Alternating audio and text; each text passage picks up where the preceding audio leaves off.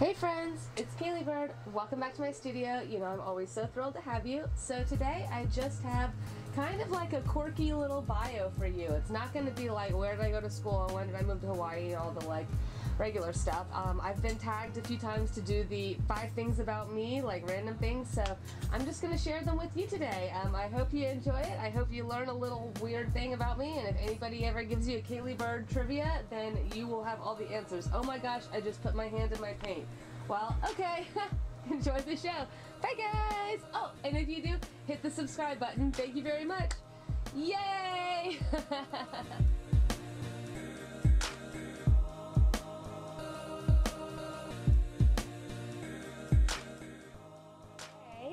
Number five for five things about your favorite little bird. Um, I am actually from Canada. Can you believe it? Yes, I know, I know.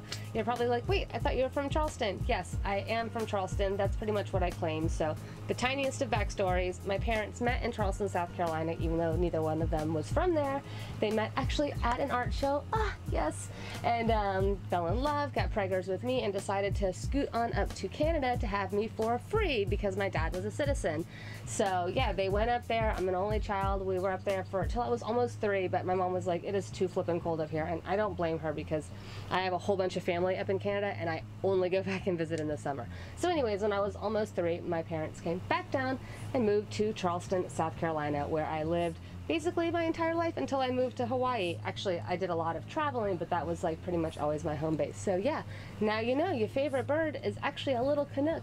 And I was super lucky because I have total dual, dual citizenship. I didn't have to pick one or the other. So yay for exciting little Canadian birds. So number four in my five random crazy things about Caleigh is uh, my fancy silver bracelets they are permanent. Yes, how exciting is that, right? So, um, yeah, they're actually gifts from basically my mom and my grandma, and it's like very special to me because, you know, I feel like I kind of channel their energy in me. So, the tiny silver ones um, were my mom's when she was like in high school, I think, and she wore them for a few years and then took them off and traded them. I think, and whatever, traded them, gave it to my grandmother, and got this one gold bracelet that she put on, and basically she grew into it, and her gold bracelet has been on her for 40 years, something like that. And my grandmother has six that are the same way, but they're different. They're like kind of lightly designed. But she's had those on, I think, again, 40, maybe 50 years. She put them on many years ago. Well, she's passed away now, but she lived into her 90s, and I think she put them on sometime in her 40s or 50s. So, yeah, they were permanent. And then when I was in, and it wasn't like on purpose, it wasn't like a, you know, some weird thing that we have to do or something, but just both did. And then when I was like 10 years old, my grandmother passed these silver ones down on my mom's in high school. And uh, I put them on, and I've only taken them off one time in over 20 years. And um, yeah, when I did, it was quite painful. It really, it did not come off well. It scratched me all up. I was all red, like especially taking all eight of them off. It was awful. It was not good. It's not a great circumstance either. Um, the bigger ones, my grandmother gave me a few years later. These ones I can get off a little bit easier. They're just slightly bigger, but um, but I, I never do. Like I never ever take them off ever, never. Like no one that I know has ever seen me without these bracelets on. You know, even like airport security, I always get buzzed. Like going to the doctor if I've had to get like X-rays, I'm always like, you gotta deal with it. You know, whatever. So um, anyways, yeah, so that's just some weird little quirky thing about me and my family. Like I said, my grandmother, who was like super close with, has passed away, but I'm still, you know, me and my mom still rocking our, uh, our permanent bracelets, and I probably will never take these off ever. Like, I have lived over twice as much time on this earth with these bracelets on as I have before I put them on. So it's kind of weird to think about that, you know? And like as far as the sound, I love it so much. You can probably hear it in like all my videos, but you know, it's just like I don't even notice it, but when I do, I'm like, oh, it's just this lovely sort of tinkling, and I don't even honestly hear it most of the time because it's just there all the time. But then when I do, I'm like, so lovely. So, anyways, that's number four of Caleigh's crazy factoids. Now you will get an A in trivia. And number three on Caleigh's crazy list about herself is that I am a total maker. So obviously I'm an art maker, duh, you know that. But not only do I paint the paintings, but I create all of my own surfaces. I used an oil prime Belgian linen and I affix it to wood myself instead of wrapping it. It's a method that I like to do. I am my own frame maker. Obviously, this is a work in progress and this is going to have way more going on like this. But yeah, I just wanted to show you like I, I do, I make all of my own painting surfaces. Um, I even make my own sketchbooks. So the ones that I do my figure drawings on, I make these all myself. I make the binding and everything like that. You know, I, I like to get what I want, so that's why I make it.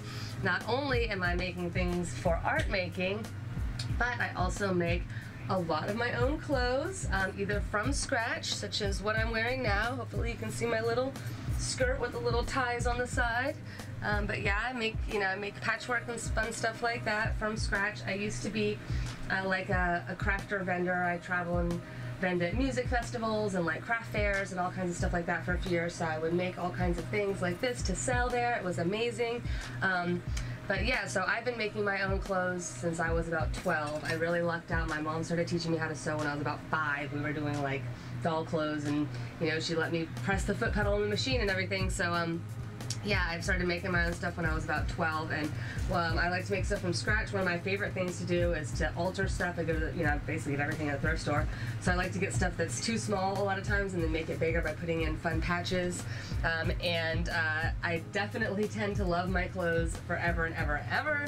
So I have more than a few pairs of pants and things that look like this that are the best, most comfortable ever. Um, yeah, obviously, um, I, uh, I have a pretty uh, homemade hairstyle. This is pretty low maintenance. I trim my bangs myself and everything. Um, I've made mountains of jewelry in the past, although I don't really do as much jewelry making anymore. But what I don't make, I love to uh, trade for, so that's really exciting. Um, but not only that, I've started getting into making my own lotions.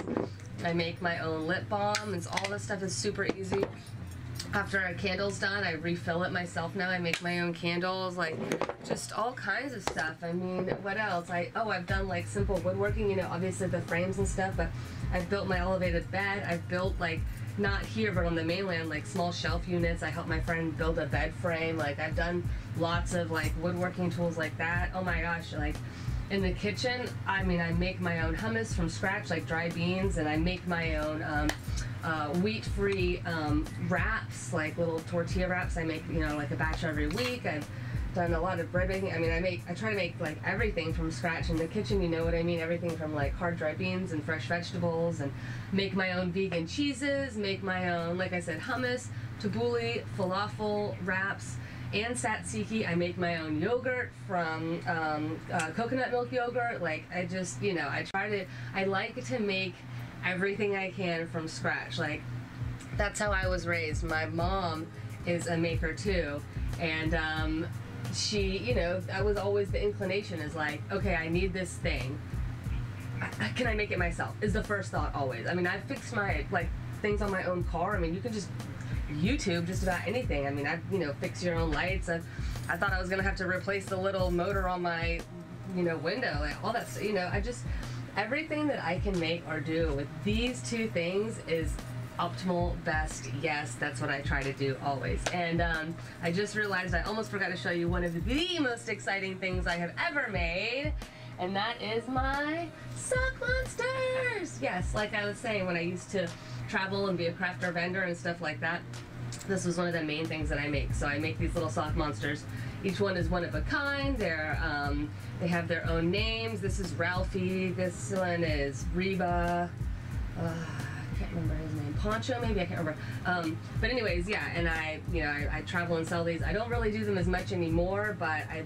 People request my monsters because I made them for years. Like I've made like well over a thousand of these guys. Um, but so I'm gonna start making like small batches or whatever. Stay tuned if you're interested in something like that. But anyways, yeah. So I just I I am a maker. I mean, whatever I can do, whatever I can do with my bare hands, like I just there's nothing more satisfying than like coming into a room or a project and going like this a bunch and then it's like a whole new thing right um, uh, on a side note i have had people ask me they're like how are you doing so how are you making all this art and doing all this and still cooking yourself all these meals and blah, blah, blah. And uh, the short answer is I have not owned a TV in over a decade. So I mean, for you know, I just I don't sit still. You guys have seen my studio. I don't have like chairs and stuff. So, you know, I'm just a kind of a high energy person, and it just I feel like energy begets energy. So, yeah, at the end of the day, I'm a I'm a doer, maker, shaker. You know, this little bird is just bopping around her nest, just getting her little nose in everything she can. So, yay! One more thing. All right, so number two of five weird things about Caleigh is I am an avid hula hooper. Oh, yes. I love it more than anything. It is my release. It is how I, it's almost like it makes me able to zen out. You know what I mean? Like, there are very few things that I can do to quiet the mind, and hula hooping is one of them. I've been doing it for about 10 years or so, just like dance hooping, and then about five years ago is when I started incorporating all kinds of fancy schmancy little tricks and things, yes. And, uh, woo! uh, yeah, I'm gonna do a little song for you today. Um, now I'm using uh, Dyalla, the music that I use for a lot of my videos, um, who does uh, copyright free music because I do not want to get in trouble with this channel. However, I do have another YouTube channel where I hula hoop to more of my favorite music. I like a lot of soul music and oldies and like Van Morrison and like all kinds of good stuff, you know. Um, so uh, anyways, if you would like to see more hula hooping, then by all means, check out my other channel. It's just called Caleigh Bird. I will leave links, of course. But uh, yeah, I hope you enjoy my hooping because I sure do enjoy doing it.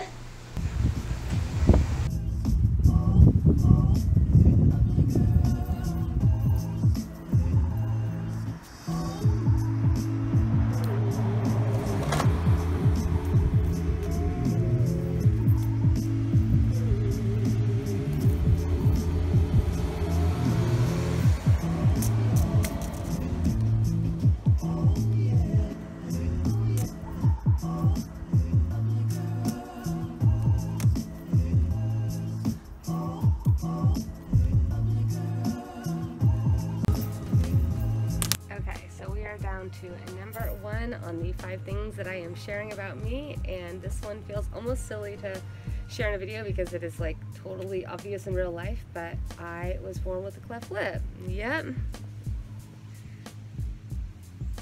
There she is. I wear her every day.